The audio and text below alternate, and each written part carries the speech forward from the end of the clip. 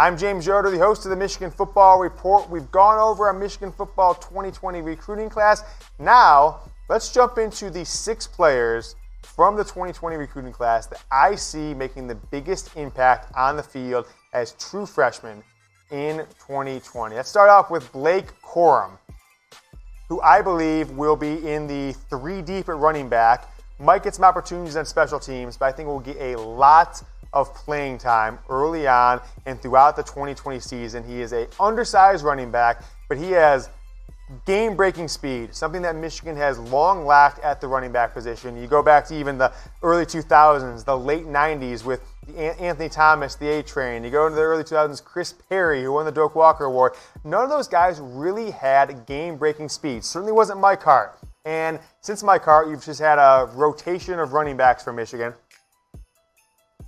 none who I felt at any given time could be the fastest player in on the field going against any team, even the fastest player on Michigan's team themselves. So Blake Corum is my top choice for instant impact freshman. I think he'll make the biggest impact next year, and I think he'll potentially be Michigan's biggest big playmaker, the guy who can break off 40 and 50 and 60 yard runs every few games uh, that Michigan has you know, woefully lacked. I mean, you went half the season in 2019 without getting a, a uh, one run over 20 yards from the running back position. So Blake Corum, my top choice for Michigan football 2020 freshman to make a big impact on the field. AJ Henning is my second most impactful freshman on the field in 2020 for the Michigan Wolverines. He's a player who committed last summer, over the summer. Some people say it was a surprise commit, but I think the, the tea leaves are going uh, that in a, in a, lot of ways. And I think Josh Gattis's offense uh, was the reason that Michigan was able to get him to commit in the first place, above, you know, among a bevy of other suitors who wanted him to come play wide receiver or potentially running back, because you see he got a lot of playing time at running back in high school. Uh, and the offense that you saw in the field over the last few games, especially getting Giles Jackson and Mike Sainristil uh, towards the end of the year, Ronnie Bell throughout the, the whole season.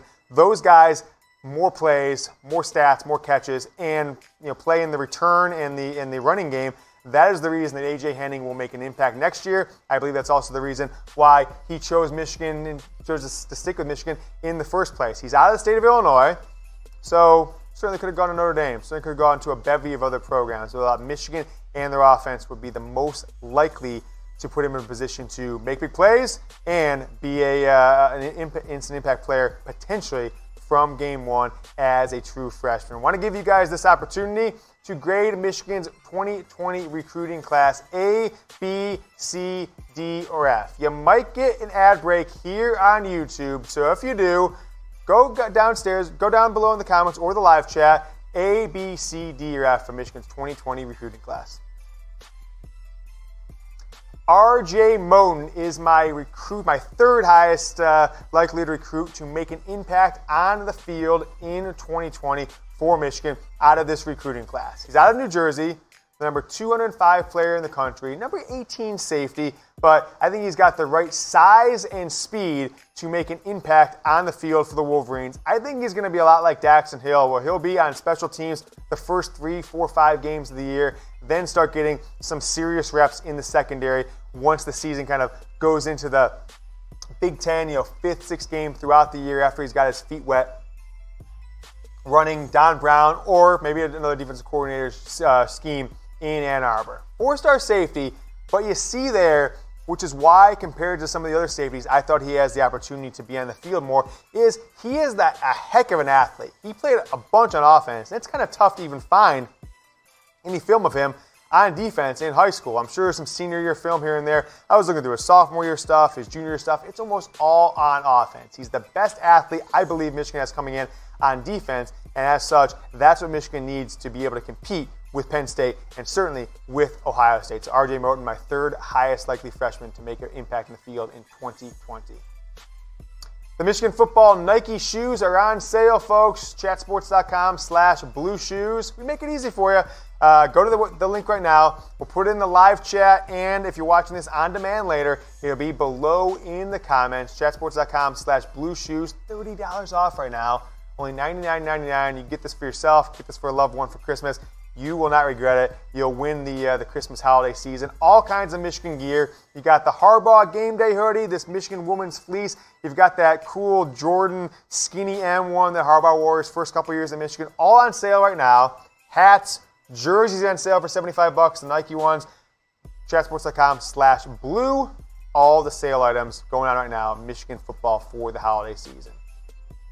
Makari Paige is my next recruit that is most likely to make an impact on the field for the Wolverines in 2020. Now, not the highest rated player got coming, we've got coming in at his position, and at 6'3", 182, maybe he's oversized for the position. But from watching his film, reading interviews with him, seeing what he can do on the field, and when you see kind of the ball skills, that's what she says that, that he has uh, and, and, keeping up with, uh, with fast receivers, I think he's going to be one that Michigan is going to rely on when it comes to going up against teams that run four and five wide receiver offensive sets or teams that have very high rated athletic tight ends that can uh, go down the field that have in the past taken advantage of Josh Metellus or Brandon Watson or other players throughout the last four or five years and potentially even eternity uh, when it comes to playing teams that know how to throw the ball. So his athleticism and his size,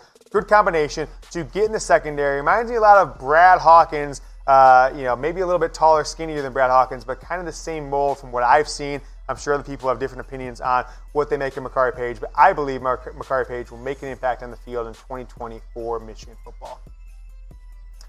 Andre Seldon, the man, if you go out there somewhere on Twitter, I tweeted out a week ago that shut down um, Ohio State's, what's the guy's name? Julian Fleming, their top recruit, uh, number two player in the country in a camp uh, this past summer. Small guy, five foot eight. He is going to have to use athleticism and uh, I guess intelligence to be able to shut down a player like Fleming in the college game who's got six inches of, uh, of height and probably 25 pounds on him. But Andre Seldon's athleticism is his best attribute. If he was 5'11, I think he'd have been a top 60, top 50 player in the country, potentially even on the cusp of, uh, of being a five star for the Michigan Wolverines football team. So, out of the state of Michigan, number 16 cornerback in the country. Nothing told me about Michigan's team in 2020 that they had confidence in the freshman and the redshirt freshman in the secondary outside of Vincent Gray, from the cornerback position, outside of Vincent Gray, that tells me that a cornerback won't be in the two deep from this 2020 class. From all I'm seeing from these players, it's clearly for me going to be Andre Seldon. So I think he'll be on the field from potentially game one when Michigan gets into uh, nickel and dime packages. So keep an eye out for Andre Seldon in the field for the Wolverines in 2020. Citrus Bowl is upon us, folks little over two weeks away, right around two weeks away. Two weeks from today, exactly. Man, we're good, at least when we're filming this show. Uh, January 1st, 1 p.m., ABC is where you can watch it on television. Or if you're going to the game, I'm sure there's a bar around there that you can go to in the third quarter to drink your sorrows away when Alabama is up by 40 points. Just kidding, guys. Michigan's going to win. But predict the score below. Citrus Bowl, Michigan versus Alabama. Michigan's only position group that I think they've got a distinct advantage is going to be quarterback. So could Shea Patterson be the difference over an inexperienced Mac Jones, who, oh, by the way, did put up 40 plus on a very stout Auburn defense a couple weeks ago. So maybe he's not uh, a three star like some people think he is. But predict your score in the comments or in the, in the live chat or the comments section below. Let's take a look at Jordan Morant out of Bergen Catholic in New Jersey, a school Michigan's got a lot of players from in recent years. Another safety you're going to see on this list. James, it's a lot of safeties uh, on your top players to commit to Michigan. I didn't do the ad break, didn't I? Son of a gun. Well, Jordan Morant, uh, we're trying something new with, saying the show, guys. The producers are in my ear yelling at me, whatever it is. Safety Jordan Morant, four star player out of Bergen Catholic, number 163 number 14 safety in the country. Another player from the safety position, and really the secondary in general, that Michigan is focused on to increase athleticism, increase speed, and increase their ability to defend the offense that Ohio State and potentially others, if Michigan's lucky enough to ever break into the college football playoff, offenses like Oklahoma, Alabama have put on the field where they take advantage of the entire 53 yards across the field and the 100 yards, uh, you know, down the field. Is those offenses want to take advantage of space? They want to take advantage of athleticism. And if Michigan is running the same kind of, of defense they've run under Don Brown with the same kind of athletes, they will be continually get burned, give up 50 plus points whenever they face a national championship caliber offense. So Blake Corum, AJ Henning, RJ Moten were the two, the first three players we talked about on this list. Also got Makari Paige, Andre Seldon, and Jordan Morant. But I want to ask you guys which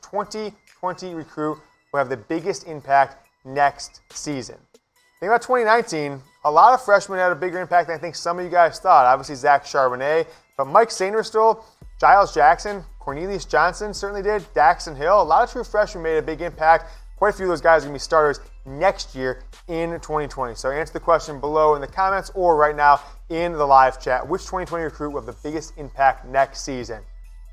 Hit the rap horn. I got a deal for you. Deal alert. If you missed it earlier, want to make sure we reminded you guys. Mish Girl 96 took advantage of this bad boy. $75 for the Michigan Jordan brand jersey. Number four, like Nico Collins and James Harbaugh wore back in the 80s. Number four, only $74.99. Go to chatsports.com slash blue4. Chatsports.com slash blue4. Also, you'll find hats, t-shirts, hoodies, shoes, up to 50% off. And it's not the cheap Walmart stuff, guys. A ton of Nike gear, ton of Jordan gear. Chatsports.com slash blue. Don't wait. Christmas is a week away. Don't wait. Get one right now. Choose the option so shipping will arrive by December 24th.